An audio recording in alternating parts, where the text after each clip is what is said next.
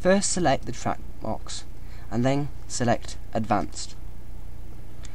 See this button here? It says get grade. Select the number next to it. It becomes highlighted. Type in the gradient height that you want. For instance, 1 a 1 in 50 gradient. Put 1.50. Then see this button here which says apply gradient. Select that and go to the piece of track which what you want the gradient to start on. Now if you want a gradient to go up that way, up that up that way, then select the oh, then select the track this half. No, then select this half of the track. If you want a gradient going the opposite way, up that way, then select the track here. At this then select the track here at this part. For instance, like that.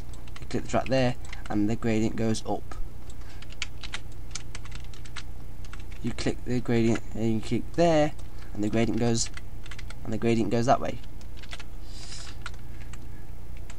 But we're, I'm really, we're going to create a gradient going that way up. So click on the part of the track on this half and select click click on each track each piece of track. And now we have a gradient. But there's only one there's one problem.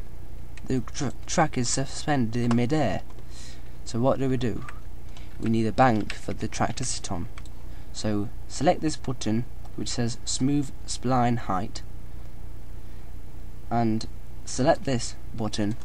Go to the piece of track go to the piece of track where gradient starting and select the track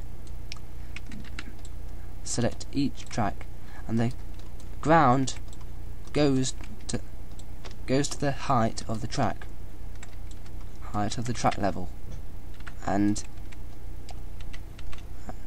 the track goes to the height of the track uh, the land goes to the height of the track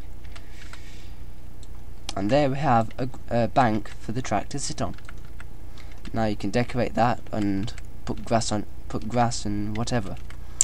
And we, we now have a gradient for our train, our engines to go on. Well, I hope you have enjoyed watching this video, and I hope it has helped you. And I will see you again soon. Bye.